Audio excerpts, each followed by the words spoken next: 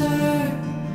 Do tell the question after the thoughts all come differently. Keep on pretending you